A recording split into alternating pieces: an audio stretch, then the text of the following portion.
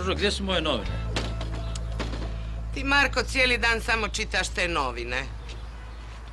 A ti, Ružo, cijeli dan samo prigovaraš. Pa kad ti nikad nećeš sa mnom razgovarat, samo kad nešto trebaš. A o čemu si htjela da razgovaramo? Pa vidiš, bajsovi opet uređuju vrt.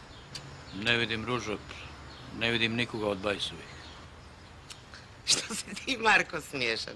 Pa zašto bi oni radili? Vidiš da imaju vrtlara. Bajsovi imaju vrtlara, da. A ti, Ružo, imaš troje djece koja imaju vremena. E, vidiš, Marko, tu si pogriješio. Dudo ih je sve zaposlio, od ujutro rade. Zaposlio? Ne mogu vjerovati. U pitanju je sigurno neka njihova pizdarija. Laufaju negdje s Didom i Bertijem. Eno ih u Bibinoj sobi ispunjavaju loto listiće. Loto listić?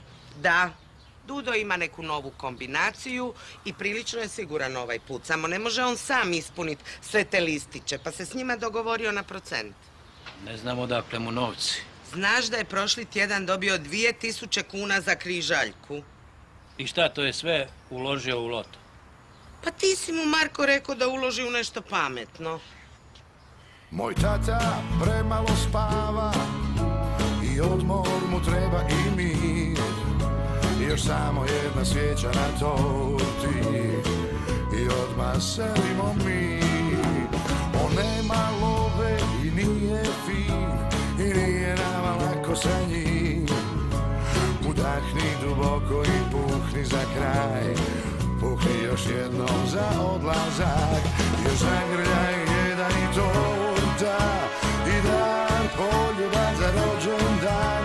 Odmori se, zaslužio si tata, još jedna si